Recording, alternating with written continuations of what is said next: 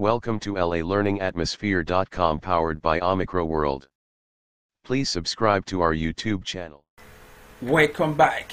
Talking about different type of database. Now let's look at this one. Now relational database. This this is what commonly database we all know we're going to be talking about here. As you can see here, this is the most common of all the different type of database. Now let's talk about what the relation. What are the word relation database component we could able to identify in this in this video? We have what Oracle and Sci, uh, we have what Sybase and we have Microsoft SQL Server which we're going to be talking about. We're going to be talking about Microsoft in this video. Now these are the great what um, commonly used in a life scenario database in a real life scenario oracle is a very good database.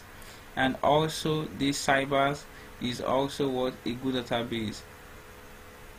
Like Sybase Sybase database like now I call it Sybase now.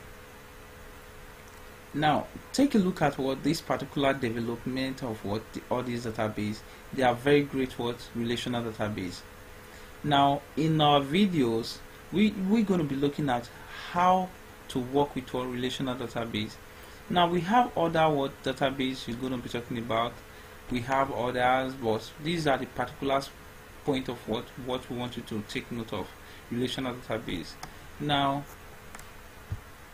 let's take a look at two operational database. Now in day-to-day -day organization this is what taking this is what you're going to be taking a look at. Investors managing what purchase transaction and finance all these data are meant to be kept but specifically these are what operation database.